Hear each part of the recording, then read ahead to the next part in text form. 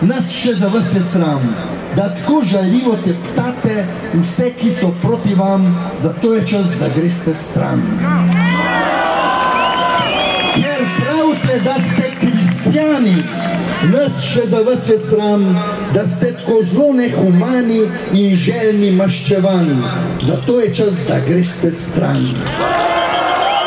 Ker hvalite se z domoljubjem, nas še za vas je sram, da se z Mačarske plačuje vaš agit prop program. Zato je čas, da greste stran. Zaradi koronskega fiaska, zaradi dobičkov pri maskah, zaradi zlorab pandemije, za izvajanje represije, ker grobo žalite novinarke in ustrahujete medije, ker je pouk nadaljavo bil tle kot to je bilo zdravo, ker ne upoštevate stroke, ker zadolžili boste otroke, zaradi grozot lanske drame v domovih za stare,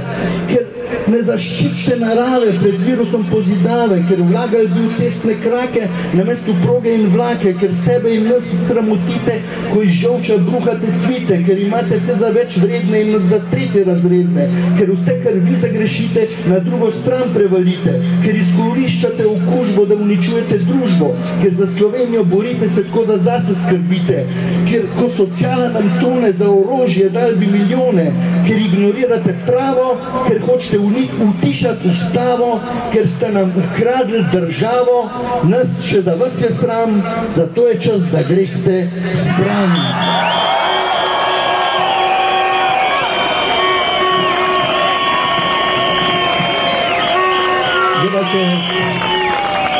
Zdaj pa